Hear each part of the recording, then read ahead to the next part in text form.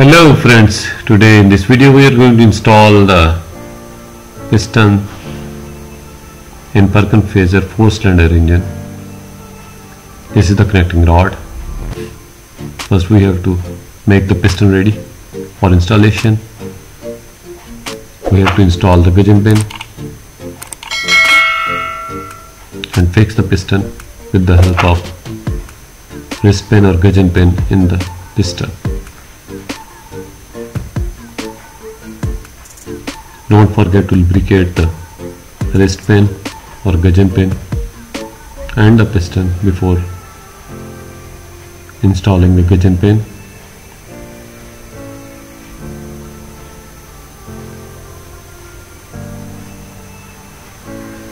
After installing the gudgeon pins, install the piston rings. This is the oil ring in the piston we have to slide it in the bottom. The purpose of the oil ring is to keep the liner lubricated. Remember to keep the marking in the direction of the top of the piston.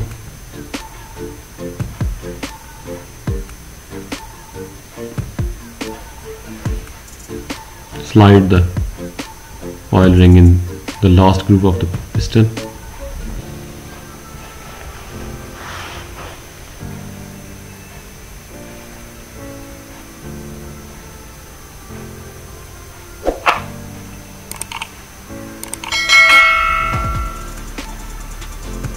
This is the central ring or wiper ring.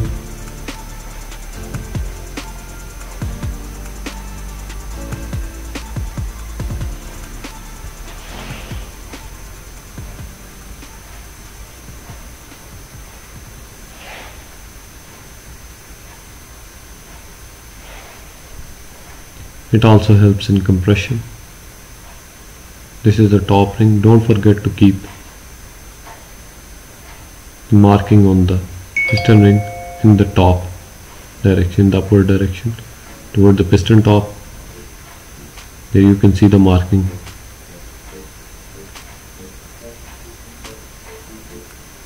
Top is written on it.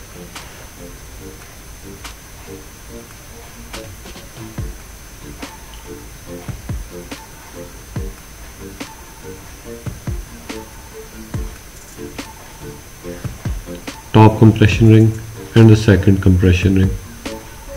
Both help in compression and keep the piston straight. They also shift the heat from the piston to the liner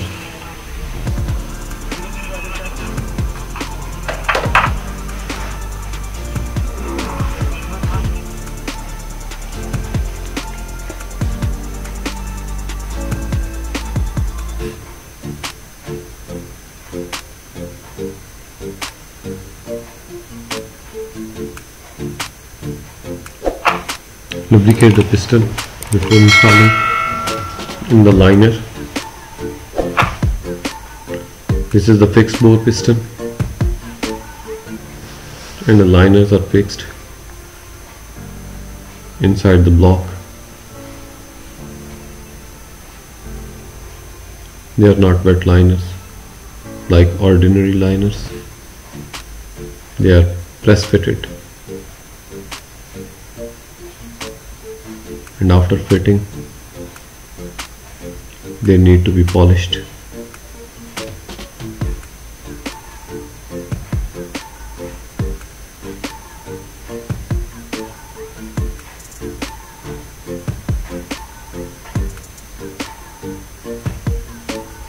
This is a ring clip or ring clip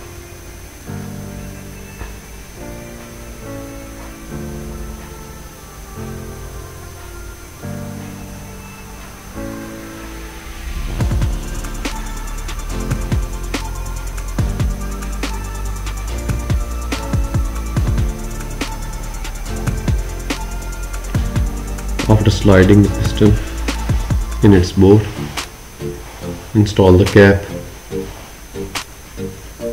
of the connecting rod. The torque for the connecting rod is 155 Newton meter. For Perkin Phaser 4 cylinder engine. Perkin 1004